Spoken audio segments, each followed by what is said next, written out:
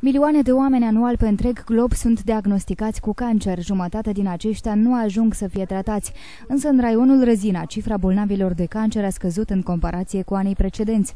Potrivit specialiștilor din Răzina, în 2013 au fost înregistrați circa 600 de bolnavi. Dintre aceștia, 58 au murit, cu 116 persoane mai puțin decât în 2012.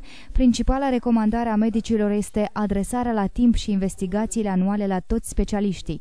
Cancerul poate fi provocat de mai mulți factori sociali ca Курение, оно вызывает не только рак легкого, но и гортани, и ротовой полости, и желудка. Поэтому курение – это очень такой, я бы сказала, сильный фактор, который может вызвать патологию серьезную.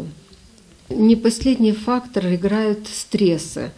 Стрессовая ситуация – это тоже один из главных факторов, который приводит к онкопатологии. Если у кого-то в семье кто-то болел онкопатологией, здесь бдительность должна быть выше, потому что генетический фактор играет не последнюю роль в онкопатологии. Oamenii sunt conștienți că pentru evitarea îmbolnăvirii cu cancer trebuie la timp de făcut toate investigațiile.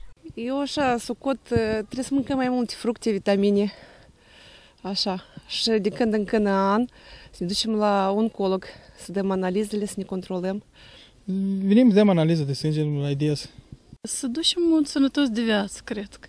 Sport, mâncare sănătoasă, eu știu, mai puțin băuturi alcoolice, fără stresuri, pe 4 februarie, în întreaga lume este marcată Ziua Mondială de Profilaxie a Cancerului, eveniment susținut de Organizația Mondială a Sănătății. Această zi are drept scop combaterea maladiei și promovarea modurilor de abordare globală a bolii.